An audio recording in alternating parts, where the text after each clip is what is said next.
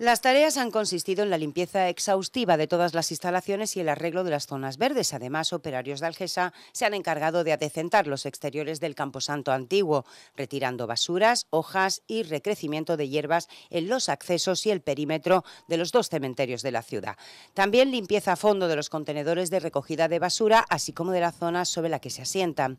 Asimismo, al objeto de dar respuesta a esa gran afluencia de público, el consistorio ha ampliado el horario de cierre de ambos cementerios que van a permanecer abiertos desde las 8 de la mañana hasta las 6 y media de la tarde. También cabe destacar que en el cementerio antiguo el jueves día 1 y el viernes día 2 de noviembre se celebrarán Eucaristías a las 5 de la tarde, mientras que la misa programada en el Camposanto de Botafuegos tendrá lugar el día 2 a las 12 de la mañana.